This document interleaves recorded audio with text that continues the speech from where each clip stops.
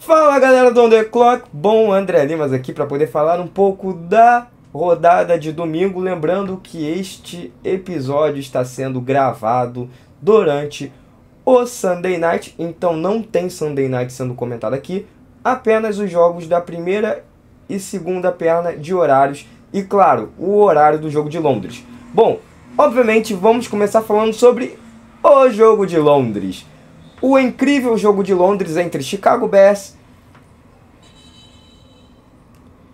O jogo entre Chicago Bears 35, 16 Jacksonville Jaguars. Um jogo onde Caleb Williams novamente joga muito bem, novamente aparece, novamente faz uma partida memorável.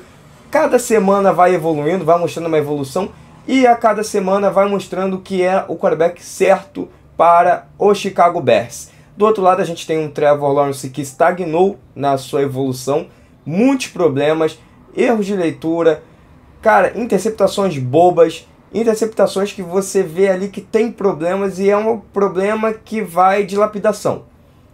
A comissão técnica de Doug Peterson errou, né? Não só o Doug Peterson, mas toda a sua comissão técnica, porque a defesa vai jogando muito mal, o ataque vai jogando muito mal.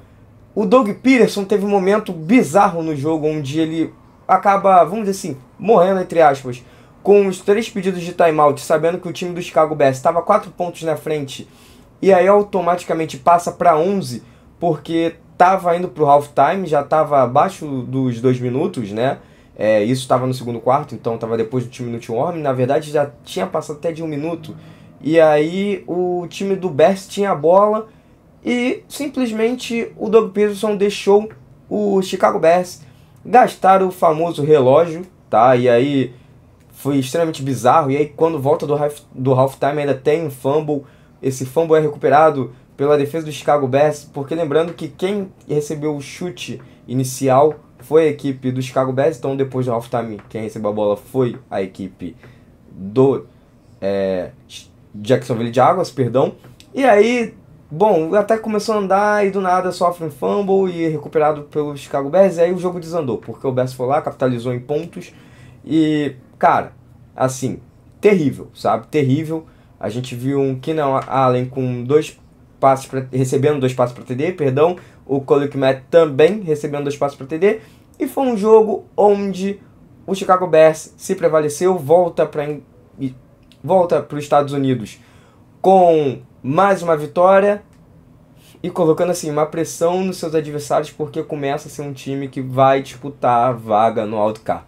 Enquanto Jacksonville Jaguars é um time que vai disputar para ser a escolha número 1 um do draft.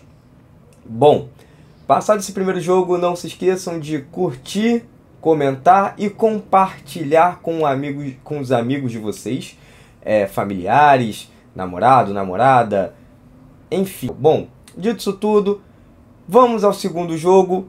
Houston Texans 41, New England Patriots 21. Cara, um jogo onde Drake May estreia, estreia oscilante, mas dá um, dá um pingo de felicidade ao torcedor do New England Patriots, porque parece que tem futuro. É, Drake May, mesmo que não tenha recebedores à sua volta, é, o jogo terrestre também muito problemático uma defesa terrível, mas ainda assim ele consegue passar para touchdowns, consegue encontrar alguns recebedores livres no, no meio do campo, consegue encontrar janelas muito boas. É, mesmo sofrendo pressão, ainda assim fez um bom jogo. E eu digo não pressão da torcida, né? Mas pressão mesmo da defesa adversária e conseguiu fazer o seu trabalho muito bem. Do outro lado, a gente tem o Houston Texans que comandou o jogo inteiro. Foi um time extremamente dominante foi um time onde simplesmente prevaleceu a sua força física e técnica, basicamente foi isso. Um CJ Stroud jogando de maneira tranquila. É, lembrando que o Nick Collins não jogou, que é, praticamente é um dos principais recebedores desse time, né? Então, é, mesmo assim, não fez tanta falta. E a gente viu um, um time do, de Houston simplesmente é, testando tudo que podia nessa partida. Bom, Tampa Bay Buccaneers 51, 27. Nosso querido New Orleans Saints. É um jogo onde simplesmente a gente teve Spencer Rattler estreando, iniciando sua trajetória na NFL. Spencer Rattler que teve um início meio lento, teve um início meio complicado, errando alguns passes, mas depois foi pegando jeito, foi pegando ritmo, entendendo como funcionava o jogo da NFL, que é um jogo bem mais rápido que o do college, e conseguiu fazer um jogo ok, tá? Conseguiu fazer um jogo ok dentro das suas limitações, dentro da sua estreia. Não foi uma estreia como, por exemplo, Drake, Drake May, que foi uma estreia para mim que foi melhor, mas ainda assim conseguiu apresentar um bom futebol americano e dar uma esperança também para o torcedor do New Orleans Saints, podendo ser o futuro da franquia também. Do outro lado, a gente tem um Tampa Bay Buccaneers dominante do início ao final, um Baker Mayfield oscilante demais, tá? Um Baker Mayfield que simplesmente teve problemas no durante a partida, errando alguns passes, tomando algumas interceptações. E, cara, um nome que apareceu de maneira interessante e de maneira positiva nesse jogo foi o running back Sean Tucker, que rotacionou junto com o Buck Irving, que é calouro, o Tucker, que já tem já um tempinho na liga, foi draftado pelo próprio é, Tampa Bay Buccaneers, mas assim, é um running back que não aparecia tanto e hoje apareceu bastante, passou das suas 100 jardas e, cara, pode ser um nome interessante para esse andamento de temporada do Tampa Bay Buccaneers. Bom, próximo jogo, Philadelphia Eagles 20, 16 Cleveland Browns, um jogo onde Sirianni de novo tem problemas, de novo é, tem problemas até com a torcida, ele que teve um momento que ele foi vaiado e tudo, e aí depois no final do jogo ele dá uma resposta lá não muito legal para a torcida. É, e aí, bom, enfim, coisas que serão faladas durante a semana, perdão, mas, cara, é assim, time do Philadelphia Eagles de novo com problemas, como falei. Saquon Barkley deveria correr mais. Saquon Barkley, Saquon Barkley deveria ter mais é, carregadas. Deveria aparecer mais nesse plano de jogo. Deveria receber passes também mais. Tá? É, passes em flat. Passes em alinhado como recebedor aberto, né, em formação em empty, que é quando tem cinco recebedores abertos no campo. Mas, assim, boa parte do jogo do lado de fora não dá para entender. Jalen Hurts também com um jogo muito oscilante, não foi um dos melhores jogos do, do Jalen Hurts, mas também não foi um dos piores, isso aí a gente releva. E cara, outro fator interessante é que do lado tem um Cleveland Browns que cada vez mais vai mostrando que a sua escolha com Deshaun Watson foi ruim. Deshaun Watson de novo joga mal, Deshaun Watson de novo com problemas, Deshaun Watson pressionado e não sabendo o que fazer, tomando muito sec de novo.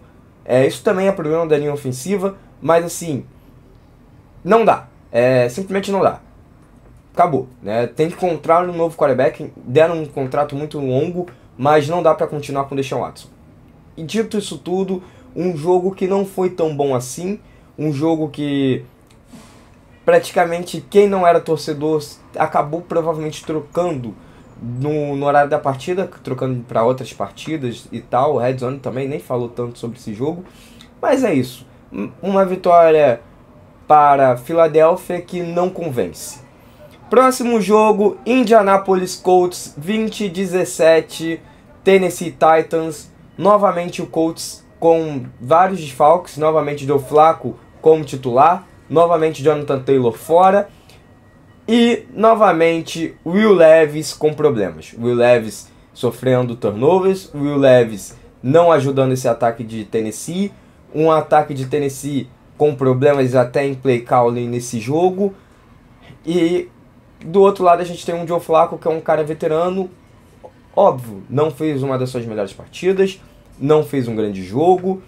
É, oscil... Outro quarterback que oscilou nesse final de semana, teve momentos que encontrou boas conexões, principalmente em red zone quando precisou, é, mas em alguns momentos também bizarro, jogou mal é, em alguns momentos da partida, por isso oscilante, tá? E aí nós vamos para o próximo jogo entre Washington Commanders 23, Baltimore Ravens 30. Um jogo onde novamente o Derek Henry domina. Ele vai sendo o principal nome ofensivo desse time de Baltimore. Isso não significa que o Lamar Jackson esteja jogando mal e nem que o Zay Flowers esteja jogando mal, mas é porque mais um jogo onde ele passa de 100 jardas carregadas, mais um jogo onde ele faz dois touchdowns e mais um jogo onde ele chama muita atenção. Bom, isso não significa que o Lamar Jackson não tenha jogado bem, que o Lamar Jackson não tenha encontrado seus recebedores no meio do campo e que o Lamar Jackson não tenha passado para TD para o Zay Flowers. Cara, toda semana acontece isso, né? É praticamente um dos melhores ataques da liga, para alguns o melhor ataque da liga. E aí vai ter discussões de times e tudo, mas assim, é um ataque fulminante, é um ataque flamejante, é um ataque que pega fogo literalmente, né? É um ataque que, cara, colocaram a gasolina que faltava, que era um running back playmaker, encontraram porque o Derrick Henry estava de free agents e conseguiram fazer com que isso casasse. E aí é muito difícil para as defesas pararem tá? E a gente viu um time do Commanders que tem um ataque muito bom, que tem um ataque também fulminante, um Jenny Daniels que pouco erra, é, não conseguindo vencer a partida porque do outro lado tem um ataque muito mais forte, mas isso não significa que o time do Commanders jogou mal. O time do Commanders jogou muito bem também, é um time que é pro futuro, é um time que já tá vendo alguns pontos que dá pra é, dizer que o futuro é muito promissor, sabe? Principalmente ofensivamente. Defensivamente também é um time que não tem tantos problemas, por mais que tenha tomado 30 pontos, mas ainda assim é um time muito interessante pra gente assistir, ficar de olho e acompanhar, tá? Dito isso tudo, e aí agora vamos falar sobre Chargers 23 16 Denver Broncos, um jogo onde as duas defesas é, se prevaleceram praticamente. O time do Chargers dominou o jogo praticamente quase todo. Boa parte da partida, o time do Denver Broncos não conseguiu nem pontuar, ficou boa parte do tempo zerado. E assim, é, Bonix jogou muito mal, tá? Do outro lado a gente teve um Justin Herbert que foi carregado também pelo jogo terrestre. Foi uma partida simples é, do time do Chargers, mas uma partida pragmática até. Uma partida onde o Chargers procurou apenas vencer, não jogar o futebol americano mais vistoso, mais bonito, o futebol americano que chamasse atenção, mas sim que conseguisse vencer seu adversário e estava tudo bem, que é o objetivo deles nessa temporada, é vencer jogos. E conseguiram. Do outro lado, a gente tem um Denver Broncos que teve muitos problemas, um Denver Broncos que não conseguiu ofensivamente de novo apresentar um bom futebol americano e ofensivamente ser o problema do time ao ponto de fazer o time perder. Tá? Então, dito isso tudo, foi um jogo que também é, não foi interessante para quem não era torcedor apenas para quem era. E mesmo assim, eu acho que nem essa galera ficou tão feliz assim com quem assistiu. Torcedores do Chargers ficaram porque venceram, mas óbvio, o torcedor sempre espera que seu time jogue bem. E não foi lá isso que aconteceu. Agora a gente vai para Steelers 32, 13 Raiders. Um jogo onde Aiden Connell foi o quarterback. Um quarterback que basicamente não mudou nada do Garner Mission pro O'Connell, tá? É, sofreu.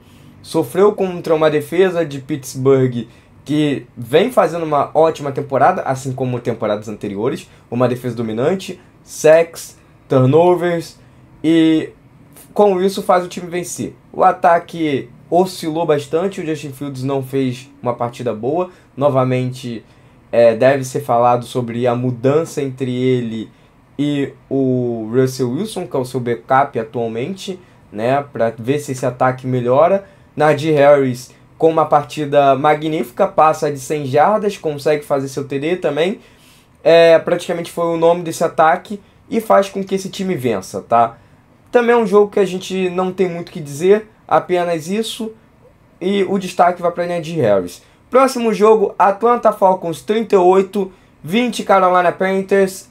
É verdade, o Carolina Panthers volta a jogar mal, volta a ser um time comum para ruim. E o Atlanta Falcons também tem lá seus momentos. É outro jogo onde o jogo terrestre aparece mais do que o jogo aéreo. O Kirk Cousins não fez uma partida boa, mas o Aldier, que é o running back teoricamente número 2, carregou mais do que o Bijan Robinson, que é o playmaker desse time, junto com o Kyle Pitts e o Drake London, é, ofensivamente falando, tá? Mas Assim, Aldier e Bijan Robinson tem mais de 30 carregadas combinadas, tá? Os dois ali somados têm mais de 30 carregadas. Isso é muito bom pro ataque. A gente que vê que um, um ataque da Atlanta Falcons com problema no jogo terrestre começa a se ajeitar, começa a encontrar qual é o sistema que esse ataque deve correr, quais são os conceitos e tipos de bloqueios que devem ser utilizados para esse jogo terrestre funcionar. A gente também viu um time defensivo de, do Falcons aparecendo bastante e causando problemas para a defesa do causando problemas para o ataque do Carolina Panthers, um ataque que novamente não joga bem, como falei. E cara, a defesa de Carolina é nula, tá? É uma defesa nula. Eu falei que Kansas não jogou bem porque ele não quis. Basicamente é isso, porque essa defesa é nula, essa defesa é muito ruim, essa defesa é muito problemática. Essa defesa não conseguiu sacar, não conseguiu turnovers, não conseguiu absolutamente nada, sabe? E mesmo assim, é... o Kirk Cousins teve problemas nesse jogo. Mas, cara, uma vitória que Falcons já deveria se esperar e acendeu o sinal de alerta para algumas coisas nesse time do Falcons, tá? Bom, e para finalizar, um jogo onde a gente dá o parabéns para o Jerry Jones, mas quem ficou feliz no final da história, quem comeu o pedaço de bolo e quem bebeu refrigerante, quem recebeu os parabéns foi o time do Detroit Lions, que teve uma vitória de 47 a 9 contra o Dallas Cowboys no AT&T Stadium, um jogo onde o time do Lions fez tudo o que quis. Até alinhar jogador de linha ofensiva como wide receiver, eles fizeram. De tão dominante que foi. É, cara, literalmente eles fizeram de tudo ofensivamente. Botaram L para recepcionar. Ah, só faltou L correr com a bola, é verdade. Mas eles saíram para recepção, alinharam como um wide receiver, como falei. É, a gente viu também jogadas interessantes. No lado defensivo, o time dominou o ataque do nosso querido. É, o time que dominou o ataque do Mike McCarthy basicamente a gente viu um time de Dallas desorganizado, um time de Dallas problemático, um time de Dallas que sinceramente não sei o que vai ser até o final da temporada, mas é um time que eu não vejo indo para os playoffs, eu vejo Mike McCarthy sendo demitido antes do final da temporada. O Mike McCarthy com muitos problemas, é, um ataque inoperante, uma defesa inoperante. E só para finalizar, porque, cara, acho que o que resume é literalmente um domínio do Detroit Lions para cima do Dallas Cowboys. É, infelizmente o Aiden Hudson ele sai, provavelmente vai perder a temporada inteira. Eu não vi ainda o que aconteceu, porque terminou o jogo, já me preparei para gravar. É, e aí assim, complicado, né? Tava fazendo uma temporada para ser o melhor jogador defensivo da temporada, tava sendo um fator interessante e dominante nessa defesa é, eu espero que o Detroit Lions ele não decaia por conta disso. Eu espero que a sua recuperação seja breve também. Dito isso tudo, é, eu espero que vocês tenham curtido, eu espero que vocês tenham gostado e não se esqueçam de curtir, comentar e mandar para os amigos de vocês, familiares, namorado, namorada. E até uma próxima, meus amigos. Ciao, ciao.